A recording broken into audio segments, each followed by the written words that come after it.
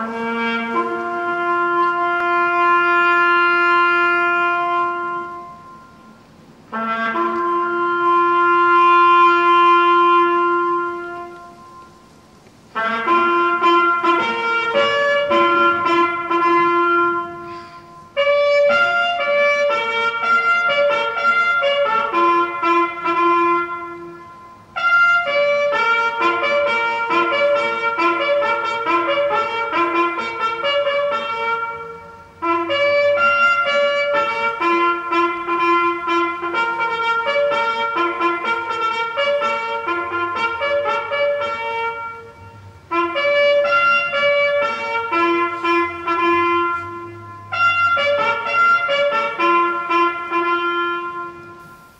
Blessed are the peacemakers, for they will be called children of God.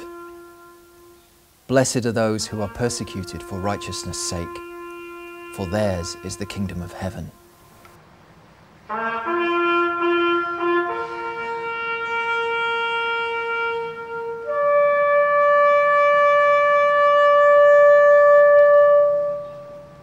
It's true to say that as a Christian, I am called to witness to my faith wherever I may be. Easier said than done.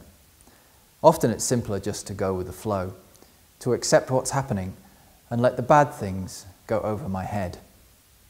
Yet I know that Jesus would not have accepted this.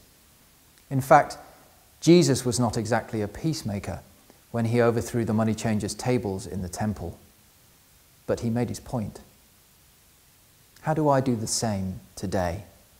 You're absolutely right. Jesus was not exactly a peacemaker, but he responded to a situation in a context in a way that was quite prophetic um, and was quite fitting for the place where he was. And so I think the ordinary Christian is, is challenged wherever they are, um, in whatever place and whatever situation, to remember the prophetic challenge of the gospel. Uh, and that's a very exciting uh, and vibrant and a vulnerable place to be as well. But I think more people would say they feel persecuted these days. And perhaps that's because it's more known about rather than anything changing. Perhaps it's just more publicised through the media or through discussions rather than actually anything being any different from 20, 30 years ago.